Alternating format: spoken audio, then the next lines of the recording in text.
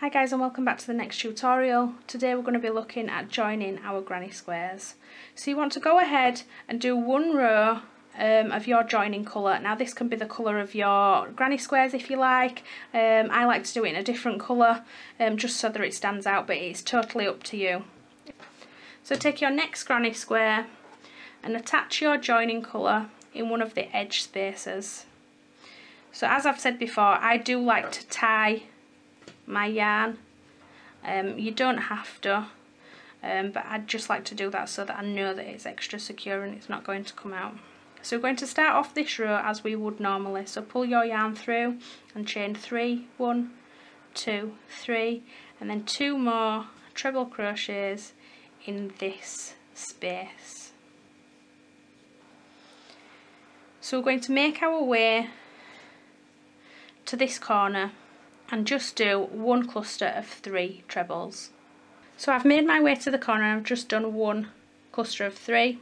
I'm then going to chain one and take my other granny square and I'm going to select the corner and I'm going to insert my hook into that corner space from the top and then I'm going to grab my yarn and pull it through that corner space I'm then going to continue and pull it through the loop on my hook to create a slip stitch. I'm then going to forget about that square and I'm going to go back to my original square and continue with my second cluster of three in this corner space. So yarn over, insert, yarn over, pull through, yarn over, pull through two, yarn over, pull through two, and two more one, two. So we're then going to do the same thing for each of these spaces. So we're going to go into the next space on the other granny square and insert our hook from the top. We're going to grab our yarn and pull through and then pull it through the loop on the hook for a slip stitch. Ignore that granny square and continue into this space with your next cluster of three trebles.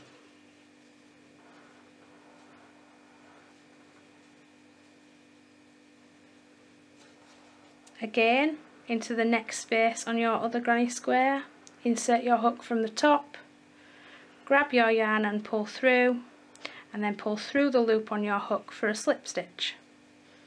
Again, ignore that granny square and continue with a cluster of three trebles in this next space. One, two, three. And again, insert from the top grab your yarn and pull through and then pull through the loop on your hook for a slip stitch. Then continue with a cluster of three in the next space along. So this can be quite fiddly when you first start. All it takes is practice um, and it soon becomes clear. So at this point if you see you're actually going to look like you've got two spaces left on this top granny square and only one space left on this bottom granny square. So it does look like you've done something wrong but I assure you you haven't. So just keep going. So insert from the top grab your yarn and pull through and then pull through for a slip stitch. So we're now into this corner space. So again we do our first cluster of three one,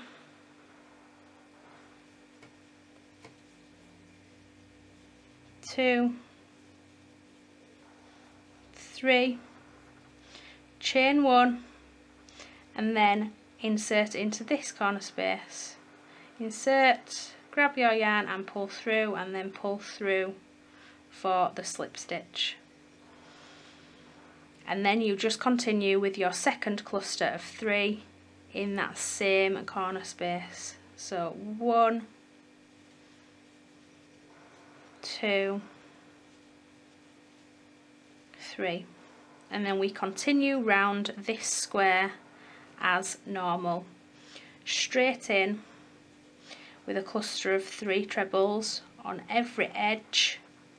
And on the corner we would do a cluster of three chain two for the corner and a cluster of three so if you want to pause the video here and just make your way around and I'll meet you back at the end.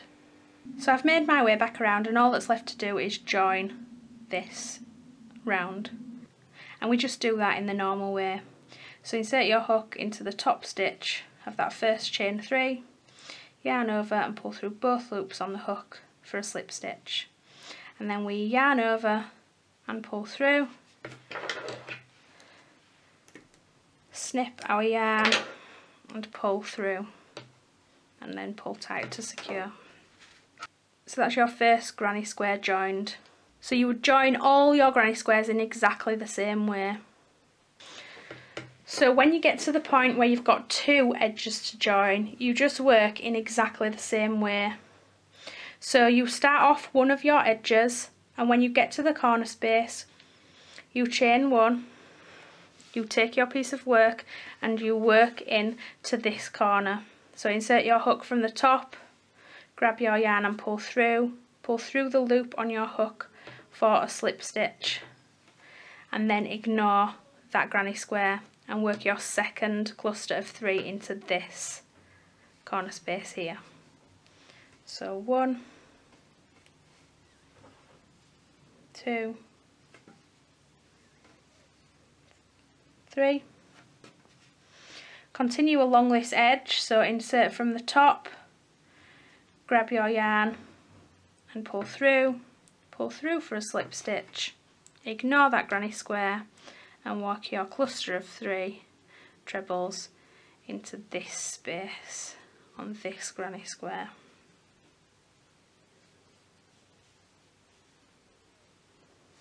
So continue along and I'll meet you at the corner. So I've made my way back along and I'm now at this corner space. I would advise that when you first start joining granny squares that you do actually work on a flat surface and keep your work flat. Um, it's much easier to see which hole you're, you're working into. Um, once you know what you're doing, you're absolutely fine to, to do it wherever, sit on the sofa in front of the TV, in the garden, uh, whatever you please. Um, but it is good to, to practice on a flat surface, it does make it a lot easier. So in the corner we're going to work um, as normal to start with, so we're going to yarn over and insert and do three treble crochets in the corner. And we're then going to chain one. So yarn over pull through for one. We're then going to attach in the opposite um, square to where we are so we're going to go over there and we're going to select the corner space for this granny square and we're going to insert our hook from the top grab our yarn and pull through and then pull through the loop on the hook for a slip stitch we're then going to ignore all of this and continue with our second cluster of three back into this corner space. So one, two, three. So that's that corner joined. We then work our way along this granny square here in exactly the same way. So we go into our next space from the top, grab our yarn and pull through and then pull through the loop on the hook for a slip stitch. Ignore that and work back into this square for your for your cluster of three trebles. Two, three. Again, into the next space on this granny square, insert from the top, grab your yarn and pull through and then pull through the loop on your hook for a slip stitch. Ignore this granny square and work back into this next space with your next cluster of three.